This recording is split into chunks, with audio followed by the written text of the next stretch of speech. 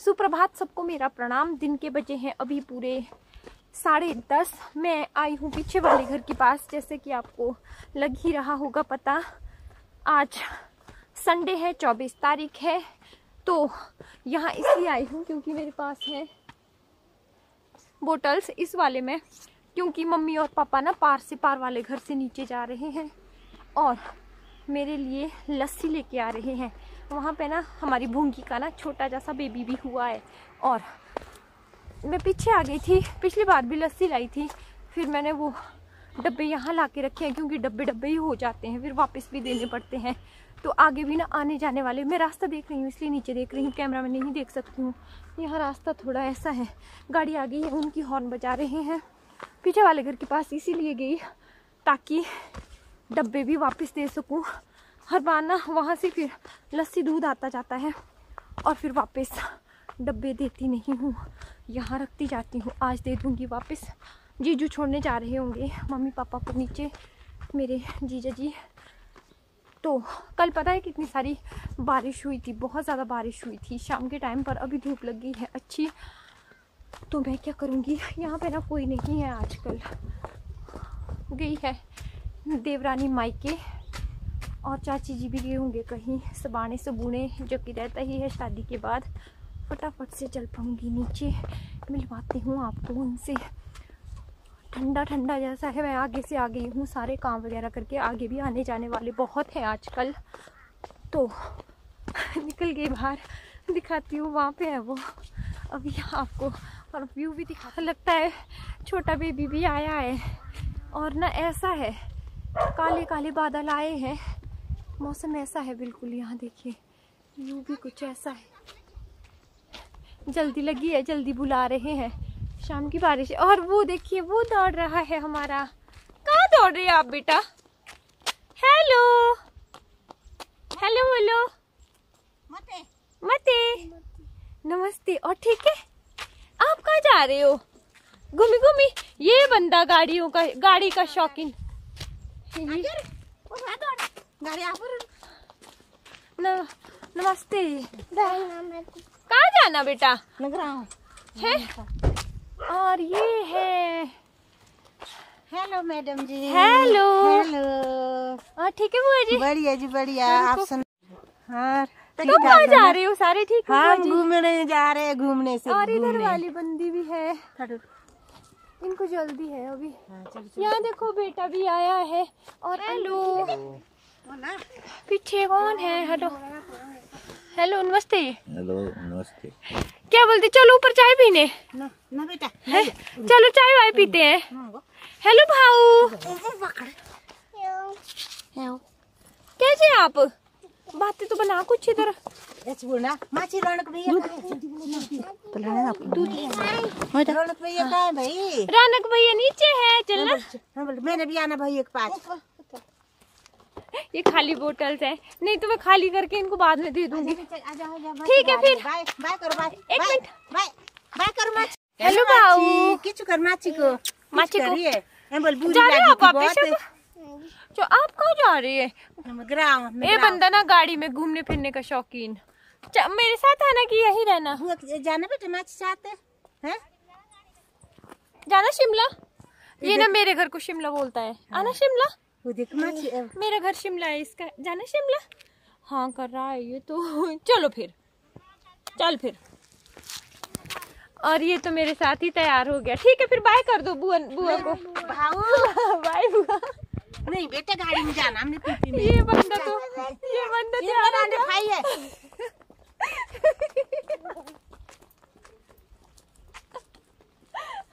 और ये बंदा ना मेरे साथ तैयार हो गया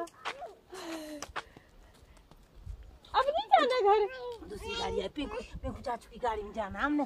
कितना cute है ना मेरे साथ प्यार हो पार आना आप। हमारे घर आना। बोले माची को बुआ बाली करके कांडे कौड़ी पड़ कांडे कौड़ी पड़ आना मेरे साथ। ये बंदा मेरे साथ तैयार हो गया। कैसे होते हैं ना बच्चे? तो इसको तो अभी जाना पड़ेगा। मुझे भी वापस जाना है। थोड़ी देर रुकूँगी मैं यहाँ पे एडिटिंग करूँगी। इनको छोड़ दूँगी। लस्सी आ गई है। काफ़ी यम होती है। लस्सी दो बोतल लाई है। लस्सियों की यहाँ देखिए, दोनों बड़ी बड़ी बोतल काम आएगी। चलिए फिर इनको बाय बोल देती हूँ। फिर ना थोड़ी देर बाद मिलूँगी, क्योंकि अभी पिछली वीडियो की एडिटिंग करने को भी है। उसकी एडिटिंग यहाँ बैठ के कर दूँगी धूप में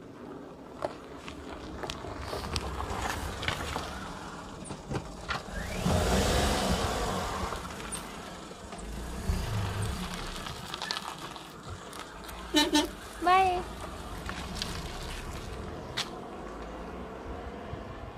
भी ना, मौसम अजीब सा ही हुआ है। बारिश हुई है, लेकिन बिल्कुल ही बादल बादल है और बिल्कुल ही अच्छा नहीं है, ऐसे ही है। इधर साइड को फिर ठीक दिख रहा है और मैं ना अभी एक घड़ी ऊपर चले जाऊँगी।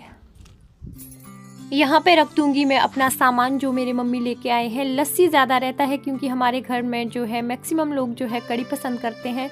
तो वहाँ से लस्सी लेके आए हैं और यहाँ मैं ले लूँगी अपने लिए कुछ सामान। ज़रूरत की सभी चीज़ें मिल जाती हैं, लेकिन मुझे ज़रूरत शैम्पू की है। तो आजकल हर्बल शैम्पू इधर मिल नहीं रहे हैं तो कोई सभी यूज़ कर रही हूँ। तो ये ले लूँगी और अपने लिए बिंदियाँ ले लूँगी यहाँ पर थोड़ा बहुत सामान लिया यहाँ पर विम वगैरह, मैगी वगैरह। ज़्यादा नहीं था। कल मम्मी भी आए थे वैसे तो सामान लेने। और लस्सी भी यहीं रखती है। खुद पीछे चले जाऊँगी, ताकि लस्सी पीछे ना उठानी पड़ी। थोड़ी देर ना मैं यहाँ रहूँगी, क्योंकि मैंने ना वीडियो में वॉइस ओवरिंग नहीं दी है। तो मैंने बोल दिया था घर में कि मैं वॉइस ओवरिंग यहाँ बैठ के करूँगी। एक घड़ी, फिर चले जाऊँगी नीचे। तो चलिए मिलती हूँ अब आपसे थोड़ी देर बाद। फिर देखती हूँ क्या क्या शेयर करती हूँ। क्योंकि नीचे तो आने जाने वाले आ ही गए होंगे। अभी भी आ गए थे आगे। हमारे ना यहाँ पे खेत में इतने अच्छे वो प्याज लगा था ना, सारा बंदर निकाल गए हैं। तो चलिए फ्रेंड्स मिलती हूँ थोड़ी देर बाद। थोड़ी देर ही मैं वहाँ रही पीछे फिर वहाँ वॉइस ओवरिंग वगैरह करने के बाद मैं नीचे आ गई थी और यहाँ पे यही है आजकल चाय वगैरह का। तो यहाँ पे ना हमारे गाँव में जो प्रधान बने हैं उनकी पार्टी थी। तो जो लोग वहाँ गए थे यहाँ पे भी आ जा रहे थे। कुछ लोग मैं कैप्चर कर लिए कुछ लोग कैप्चर नहीं कर पाई। रौनक दुखी क्यों है? नहीं हुआ दुखी। रौनक की बहन लोग जा रहे हैं अभी हमारा फ़ोटो शूट होगा। अभी उधर चला भी है फ़ोटो शूट वैसे इधर पीछे। कुछ फ़ोटो क्लिक करते हैं साथ में। आज रौनक।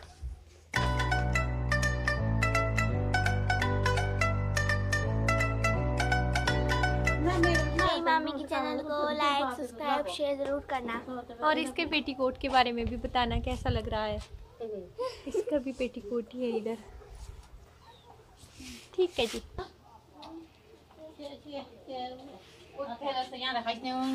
आपने बिस्कुट डाले ऊपर से मैंने क्या किया होगा मैंने बूंद बाना डाला ऊपर से इसमें जीप लग रही थी मैंने ये बूंद डालती इसके ऊपर बाय बाय बाय जी बाय दीदी जो है बच्चों के साथ साजे के दिन यहाँ रहने आए थे हमारे घर तो एक दो दिन में ही जाने वाले थे, लेकिन डैडी जी बीमार हो गए। फिर घर में रौनक और मैं ही थे, रौनक की क्लासेस लग रहे थे तो दीदी यहीं रह गए थे बच्चों के साथ।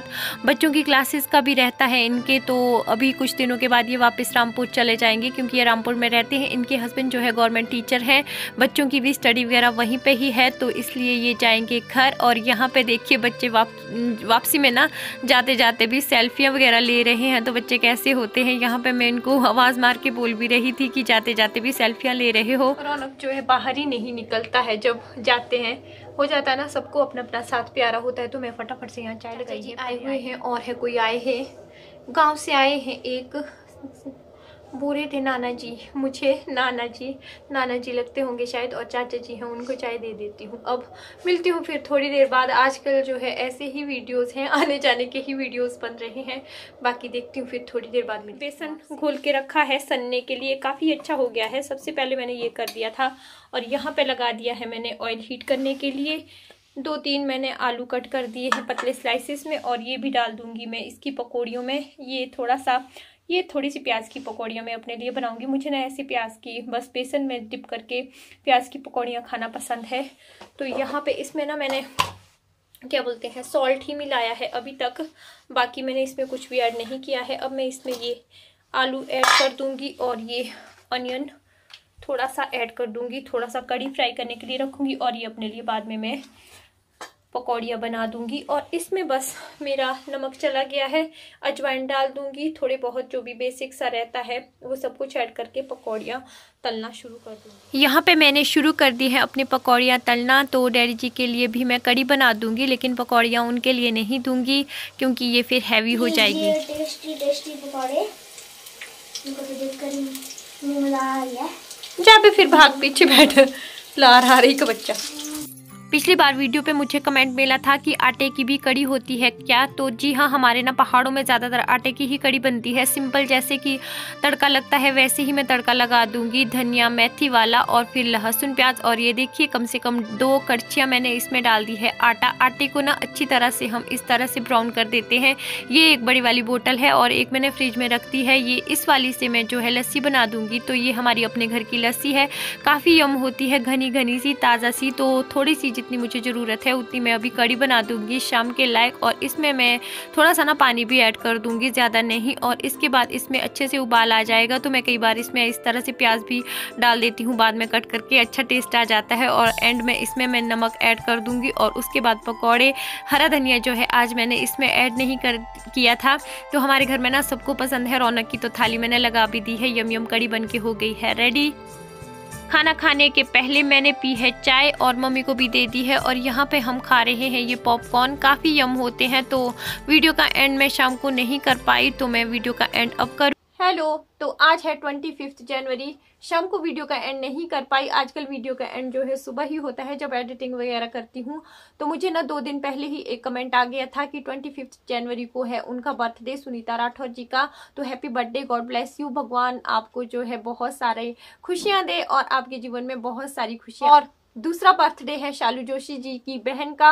बहुत अच्छे अच्छे कमेंट्स होते हैं उनके। वो बोल रहे थे कि आपके जो है वीडियोस बहुत अच्छे होते हैं और दिनचर्या दिखाते हैं, वो बहुत अच्छी होती है। वो कहती है कि हर बेटी और हर बहू जो है आपकी तरह ही होनी चाहिए। तो बहुत अच्छे आपका कमेंट था। मुझे ना सच्ची दिल छू गया और बहुत बहुत थैंक यू आपकी बहन को भी हैप्पी बर्थडे उन्होंने अपनी बहन का जो है नाम नहीं बताया। मुझे बहुत अच्छा लगता है सच्ची में जो दिल से ऐसे कमेंट देते हैं ना, क्योंकि मैं जो है ज़्यादा अच्छी बहू बेटी या बहन नहीं हूँ, जो हूँ जैसी हूँ आप लोगों के सामने हूँ, बुरी भी बहुत हूँ क्योंकि फिर हस्बैंड ने ना मुझे बहुत सारे नाम दिए हैं वैसे वैसे करके भी।